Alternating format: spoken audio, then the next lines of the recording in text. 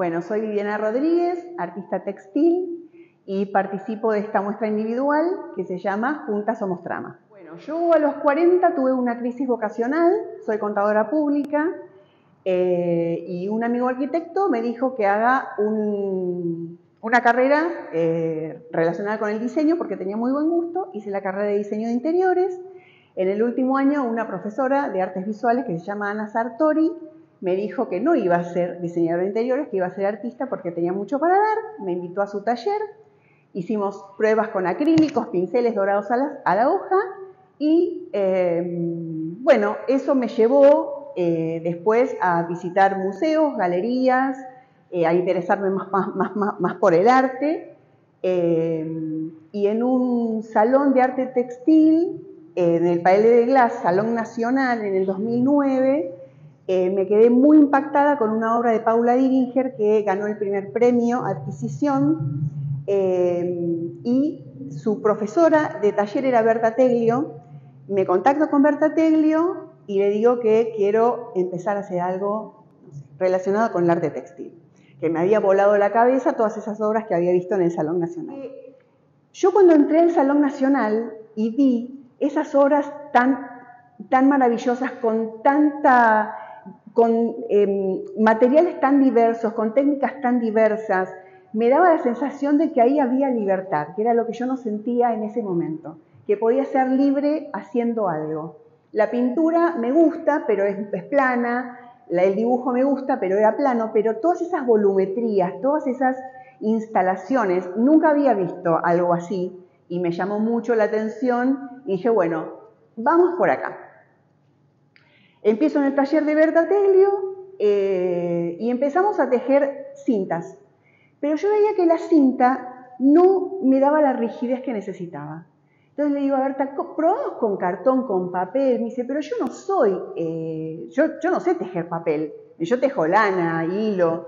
Digo, bueno, es lo mismo. Vos enseñame la técnica que yo pruebo con papel. Cortamos unas tiras de cartón, me acuerdo que tenía Berta, empecé a tejer en la urdimbre y dije, es esto, es por acá. Tiene la rigidez que me gusta, queda donde yo quiero la trama. Eh, y bueno, y ahí empecé y fue un viaje de ida, porque con Berta estuve dos años en el taller experimentando, y ahí entré a participar en salones y, y bueno, después de dos años Berta me dice, yo no tengo nada más para darte, Vivi, me parece que tenés que buscar un maestro que te enseñe técnicas de papel.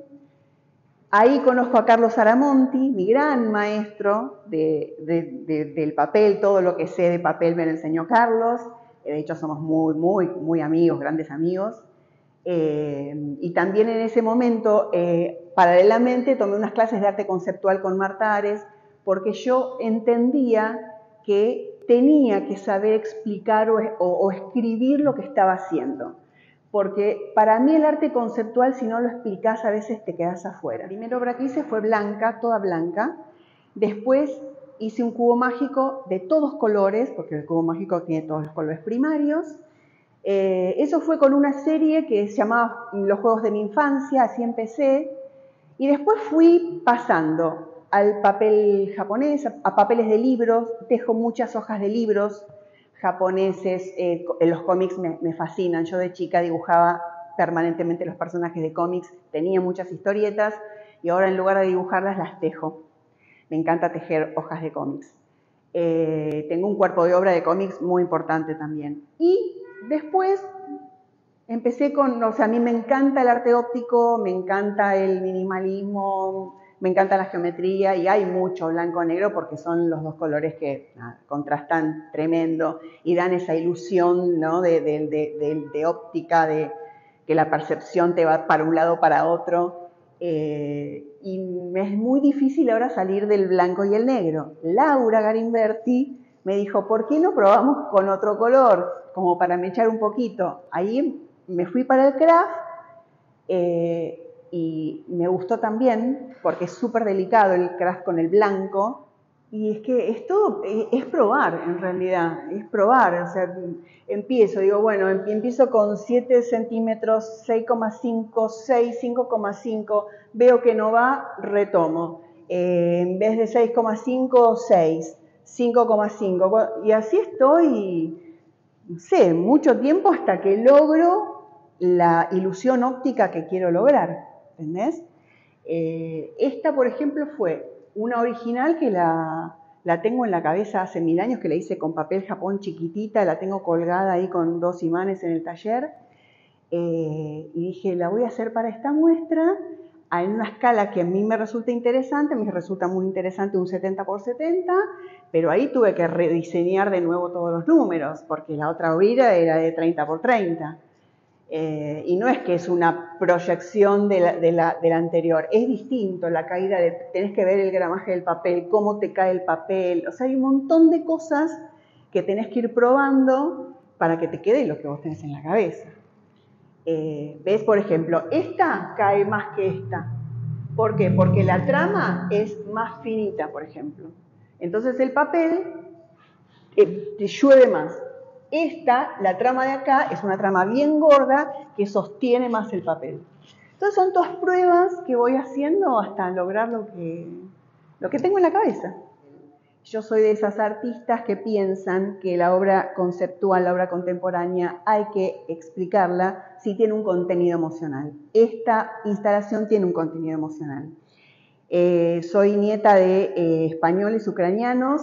Mi abuela paterna española es la que me enseñó a tejer a los 10 años con aguja, eh, lana. Bueno, mi abuela ucraniana, Baba Sofía, ella me enseñó a bordar punto cruz. Ella era una maravillosa eh, bordadora de punto cruz con hilo de seda. Eh, y bueno, yo pasaba horas bordando con ella, me acuerdo, pero ya de muy chiquitita. Y con mi abuela española eh, Rosario eh, tejía a dos agujas junto a Santa Clara, bufandas, bufandas y bufandas. Em, Rosario con su hermana Manuela tenían una tienda, tienda Manuela, que era una mercería, donde pasábamos jugando con mi hermana todos los días prácticamente en la mercería. Y lo que me dejaba hacer Manuela eran los moños, los paquetes y las compras de los rollos de papel de regalo. Entonces íbamos una vez por mes a una papelera en el barrio de Barracas eh, y elegíamos papeles. Y cuando llegábamos a la tienda, eh, Manuela tenía atrás de la tienda una habitación de pisos de pinotea crujiente, me lo acuerdo como si fuera hoy, y acomodaba muy prolijamente cada bobina de rollos de regalo. Yo me fascinaba mirándola. Y este grupo de bobinas de papel craft que eh, simulan ser rollos de papel de regalo, es como un homenaje a ese recuerdo que lo tengo tan vivido de lo que me fascinaba viendo a mi tía Manuela acomodar los rollos de papel de regalo. A unas cuadras de tienda Manuela quedaba Cedería Mario, la cedería del barrio de Herli, Avellaneda, donde yo me crié toda la vida, hasta los 27 años, eh, y era la cedería donde iban a comprar telas eh, todas las mujeres del barrio y de otros barrios también. Y mm, bueno, iba con mi abuela Rosario a comprar telas eh, a lo de Mario. Y esta es, una, es un homenaje que le quise hacer a él. Eh, son, es, mi interpretación de esos rollitos de tela. Cada uno de estos rollos tiene eh, enrollado 25 metros de papel y las maderitas que, en donde yo enrollo el papel me las regaló Mario en el 2018 y bueno, nada, es un recuerdo en homenaje a, a momentos que me hacían tan feliz ¿no? de la infancia.